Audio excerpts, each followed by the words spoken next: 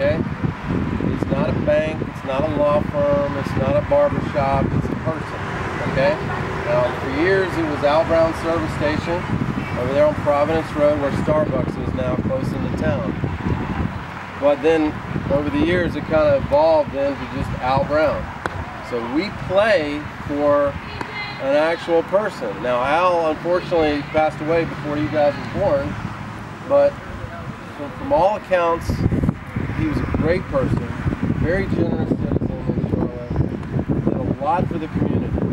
I've never heard a negative word about Al.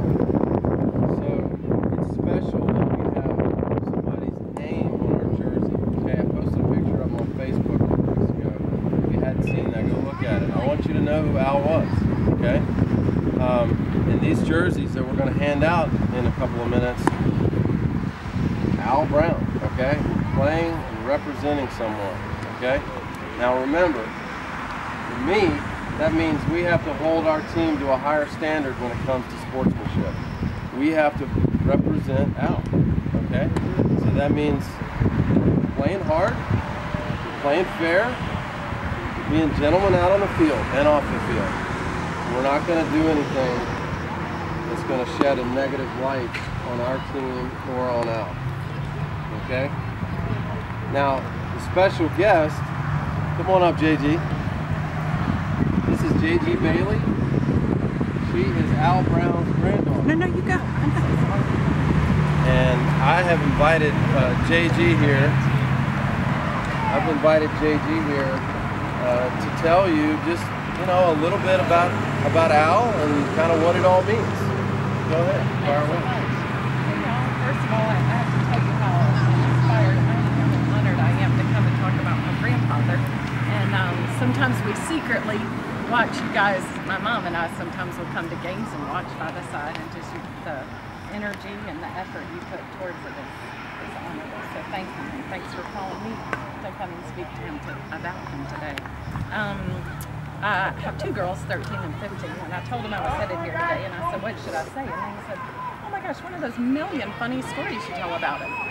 And um, he had some really good stories. But I was reading over an article that somebody wrote about him after he passed away, and I wanted to read you just the first part of it, okay? So his middle name was Alfred. And the first part of it says, perhaps his middle name should have been Believe instead of Alfred. He believed in living each day as though it was the best of his life. He believed in supporting young athletes and he believed in friendship. He believed in giving to others and he especially believed in keeping quiet about it. And so um, that was that was one of the, the things that he, he had so much belief in other people and in you guys and in the world.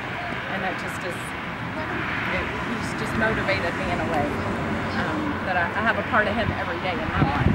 And um, one of the stories about him that just is, rings true to his belief is that he would always say, if your job is too big, just look at it in small parts and break it down into small parts. And so he had this dream to build a lake.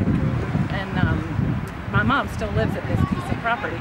And so he told everybody, all his friends, he said, well, just come over and bring your chainsaw. We're going to build a five acre lake. And they were like?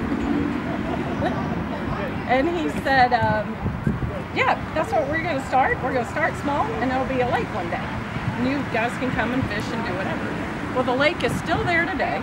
It took many years, took about two years to build it. We brought in tractors and backhoes and all sorts of machinery to build it. But it's a five acre lake and it has fish in it. We still fish on it. The horses still drink out of it. That was one of his, his um, loves was nature. And so um, if you guys ever want to out there, he would love to, show it to you in his way of having it there.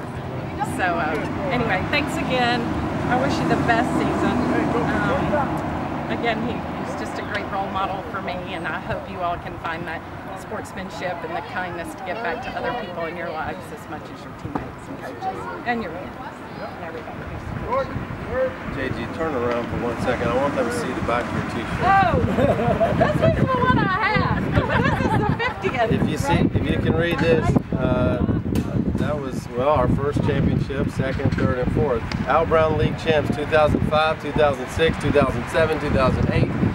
This team has a winning tradition, but it's not about that, guys. What it's about is that you're playing for something that's bigger than yourself. Okay? You're not just playing for yourself, you're not just playing for your teammates, you're playing for something that's bigger than that. We're playing for Al, we're playing for the legacy, the tradition, all those things that we that we've talked to you about. Okay, I think it's really cool that you can play little league baseball and you're not just jumping around from team to team each year. You're Al Browne and you're always going to be Al Browne, just like I was. Okay, I mean that's why I'm here right now. Yep, and Nick, just like Nick. You know, absolutely. Once So you've played for him, you're part of it forever. you're part of it forever, whether you like it or not. Um, but you're gonna like it. I have a hat for you, Ah, I needed a new one. a couple of stickers. oh, thanks. However many I see. I see these on the back of cars, and I kind of want to honk. I got a. so Uh, now, oh my gosh, look at all this. You have this. people to oh, give pins to? I do, and my mom was sorry she couldn't be here, but uh, but we we think about think about you guys playing and just how how special it is that this team has been around for so many years and all the support that the community has given.